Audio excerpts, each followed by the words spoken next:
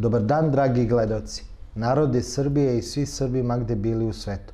Ovo je emisija intervju u produkciji medijske kuće Srbin Info i Centar. Moje ime je Dejan Petar Zlatanović, s nama je advokat i član Beogradskog sindikata Feđa Dimović. Pomoz Bog, Feđa. Bog pomogao, hvala na pozivu. Pozdrav svim gledalcima. Evo, polako završavam intervju. Sad mene zanima Beograd. ja i vi i ja smo Beograđani. Ja sam druge godine, ajde. Rođen sam u Vranju, ali u svoje druge godine, treće, živim u Beogradu ceo život. Imate onu poznatu pesmu, baladu Desidenata. Sad me zanima, da li smo mi Beograđani izgubili Beograd? Na kraju, posle svih ovih godina. Ja imam utisak da sam izgubio svoj Beograd. On se nalazi po celom svetu, a i ono malo što je ostalo u Beogradu, toliko je raštrkano da više ne znam da li u mom gradu i, i više imam svoj grad. Pa, mnogo je sad tu, mnogo istine u, u ovome što ste rekli, ali ja is, ipak pokušavam da, da se borim za taj Beograd i da ne, neću tako lako da, da, ga pred, da ga predam ovima koji bi da ga unište. A uništavaju ga, ozbiljno ga uništavaju. Koga uništava i na kako? Pa uništavaju ga sa tim nekim suludim projektima. Evo sad kad sam dolazio ovamo, ne može se prođe pred, preko Trga Republike, neko digo neki šator, mislim. Da, ono je katastrofa. Znači, razne neke sulude varijante kojima neko padne na pamet. Ono, kao prolazimo preki dan preko Bogoslovije, idemo ovaj, na Karaburmu i pita me taksista, kaže, ja te pitam, kaže, šta ti misliš o ovom spomeniku? Oni su napravili... To kamerman, kamerman neki, moj pita stalno neko, meta, neko metalno ovaj, čudo, ne znam ni šta predstavlja to. Kažem, pa tu je bogoslovje, za nisu mogli staviti Čirila i Metodija, ili da. su stavili spomenik Svetom Savi. Ili krst neki. Ili krst, šta god, znači, ono da, da to ukrase oni tako. Eto, mislim, to su te neke stvari, ali mislim da Beograd i dalje živi u, u Beograđanima. Da, to smo mi, mi ljudi koji ga i dalje volimo i koji uh, nećemo da, da, da, se, da se, nećemo tako lako da ga predamo. Ja čak, i kad pogledate sad, ja nemam taj, taj, ono, kako to zove, beogradski šovinizam ili ne znam. Ne, ja mrzim to. Da, to Mislim, baš... Beograd su dođoši pravili. Da, Beograd su pravili dođoši, znači, i svi, znači, naši pisci, pesnici, boemi su dolazili i svako je donosio neki taj, taj duh e, svog mesta koji se uklapao u taj duh Beograda. Beograd, ne može Beograda da vam kažem, ja sad čitam da u Beogradu dosta ovaj, iz nekih istorijskih knjiga koliko je Beograd značajan grad. Za Beograd je e, u novijem veku bio jedno od najvažnijih gradova Evrope je upravo bio ta granica između e, istoka i zapada, između Turske, Turskog carstva i Austrougarski. Koliko puta su se menjali ovde, tako, čak da. čas ga osvoje Austrijanci, čas, čas ga osvoje Turci i koliko je on bio značajan kao ta neka vrata Evrope. I tako da ono, ja sam sad skoro rekao baš na ovom intervju za Balkan Info da čak i da stavimo šimpanzu da vodi Beograd, da Beograd ide da ide napred, ide nek, ima neku svoju, tu, to svoju što bi rekao onaj Zemunac na YouTube-u, ono pre par godina, tu živinu, to trajanje, ako se sećate da, da, te legende. Ali stvarno ima taj neki duh koji je možda, možda u nekim trenucima bude zatvoren u, u neku u bocu, ali on izađe i tu je, znači tu je, živi, živi, živi u nama, živi čak i u tim ljudima koji su sada u Njujorku, u, u ne znam, u, u Parizu, na Malti, u Dubaju, u, u Beču e, i nose, nosi ga ljudi u sebi bez obzira gde god da su. Znači, Beograđani nekako se uvek, uvek prepoznaš onako pravo, a to nije onaj Beograđanin koji je ono, kao to gleda, kao vidi ovi seljaci to, nego ne. pravi Beograđanin je onako kulturan, vaspitan, patriota, voli svoj narod, voli sve, sve delove, sve naše zemlje, što bi se reklo, koji te nikad neće ono ko slagati, koji te neće prevariti, to su Beograđane, ima ih dosta. Kad, e, da li je ovaj možda Vesić ima ideju da ovaj most železnički prebaci u ušće. Da li je možda to tačka koju ne smemo da pređemo? Da je vreme da tu Beograđani stave crtu. Da kažu ne može više. Pa, da li je to trenutak ako se to i kako ja mislim da je jel se, ste, ste spremni da... da branite ga do kraja taj most?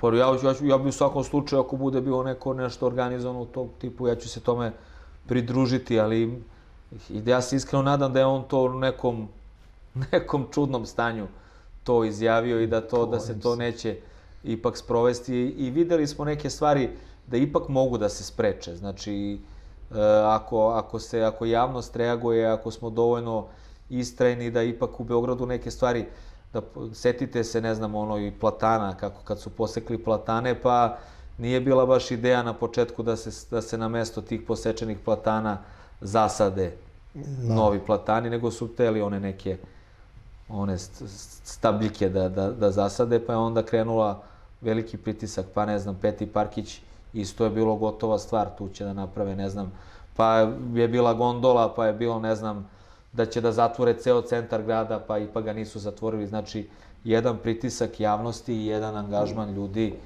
ovaj, može da promeni mnogo toga. Tako da ljudi treba da budu budni i da, da se angažuju. Znači, da ima, ima, ima to, ima svrhe. Nije sve izgubljeno.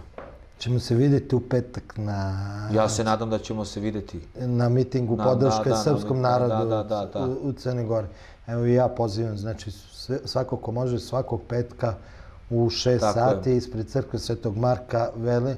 Dođite ljudi da podržimo našu braću i sestre koji su primer upravo kako se te i te neke i građanske hrabrosti i kako se principijalno bori za neke stvari koje, koje su vredne i kada ustanemo za nešto što je vredno, kako možemo da budemo složni i kako možemo da budemo i brojni. Feđa, hvala vam što ste bili gost naše pro produkcije. Na pozivu. Nadam se da ćemo se videti. Pa što da ne i na nekom koncertu? Ja bih volao koncert, pošto vi volite gerilu, kažete gerilske metode, ja bih više volao taj neki koncert ala Hajdučka česma nego arena. Ali bi pa volao i, i bilo kakav da, koncert. Da, bilo, pa i tada je arena bila neko prelazno rešenje, jer nažalost nemamo mi sad nešto puno izbora da možemo da pravimo koncerte dok nam ne budu dali Rusi one rakete da možemo da napravimo lepo vreme kad padne kiša pa da pravimo napolju, ali to je uvek o, i, Vust, I Vustok je po kiši bio da. legendan. A kad je tako koncerti, koji vam je ostao najviše u sećanju kad je u pitanju Srbija, mislim srpske zemlje, ajde lepše, ja više to volim srpske zemlje, a kad je inostranstvo u pitanju, gde, je ono, ono koncert da se, koji će ostati u pamćenju? Pa evo, ako ćemo to prvo srpske zemlje, uvek, mislim, koncerti u, u Republici Srpskoj su ovaj, uvek u Banja Luci, to, to smo imali koncert veliki i na Kastelu, imali smo koncert o, ovaj, u Boriku, ali možda daš taj prvi koncert na Kastelu, ovaj, gde je bilo znači, ono, 4-5 hiljada ljudi, bakljada okolo, to, to je bilo. Ili, na primer, prošle, uh, 2018. godine Nikšić, isto je bio koncert, znači oni su to na Tvrđavi je bio organizovan, gde su napravili bakljadu, kao ovo sada što vidimo ove scene da, sa da, bakljadama, da, znači to... oko cele Tvrđave ovaj, su bile upaljene baklje, to onda ima i snimljeno dronom, mislim, to su a mnogo, znači sad onda ja volim i tako te neke, to kažem, te neke gerilske, to je, to je koncert Peti Parkić, ovo definitivno sada ovaj nastup ovaj, u na bogojavljanje, legendarno nastup je u CZ-u kad smo nastupali. To je... Kako je taj osjećaj u CZ-u? Je li to ono pa, u filmu o Kešu? Pa to je, pa čak i, čak i, ovaj, i, i, i mnogo jači osjećaj, zato što prvo je meni to bilo nekde emotivno, zato što sam ja tu stalno, mislim, ja se bavim tim poslom i danas sam, evo, pre što sam došao kod vas, otišao u vizitu u okružni zatvor i ja znam tamo i te ljude, i upravnika, i, i, i stražu, i, i uopšte, mislim, to mi je ono, sastavni deo mog posla je da idem u posetu zatvor. I onda sa tim nekim, pogotovo zato što je molba došla od ljudi koji su bili unutra. Znači, od moje Oni jedan, su, su, da, pokojni klijent ovaj, je je tada bio na ostuženju kazne i on me pitao, eto, kao, ovaj, da li bismo mi eventualno hteli, on je nešto onda pričao sa nekim njihovim e, vaspitačem, Igorom, koji je inače sjajan fotograf i koji je posle objavio i, i seriju tih slika crno-belih e, osuđenika i pritvorenika ovaj, u okružnom zatvoru, koji je isto znači, veliki umetnik i onda se on e, oko toga založio i sa upravom dogovorio I onda smo se, ono, onda otišli na razgovor, dogovorili se i sad kao ulazimo, ja kao da sam, do tad sam ulazio kao, Da. zbog mog posla sad ulazim i to na taj krug gde, gde je ta šetnja u okviru o, e, centralnog zatvora, tu je bio koncert i tu je ovaj upravnik onako ispo veliki laf zato što e, pre svega sad iz nekih kao ra, bezbednostnih razloga i svega e, ti koncerti, na primjer, kad smo, mi smo pre toga nastupali u Valjevu, pa, na primjer, u Valjevu, kad je isto u, u zatvoru, Da, da, da, publika je morala da sedi, bili su pod stražom i to. Ali ovde je upravnik dozvolio, znači, da se da održi pravi koncert. Znači, stajali su ljudi. Stajali su ljudi i oni su pre svega pritom ne znaju sad šta da rade, kako da, da li da stanu ovamo, da, li da stanu, upravnik izašao, kaže, ajde svi ovamo, ispred, kaže, ispred, Da, to je, kaže, koncert. Stvarno svaka čast. Da, Da, svaka čast.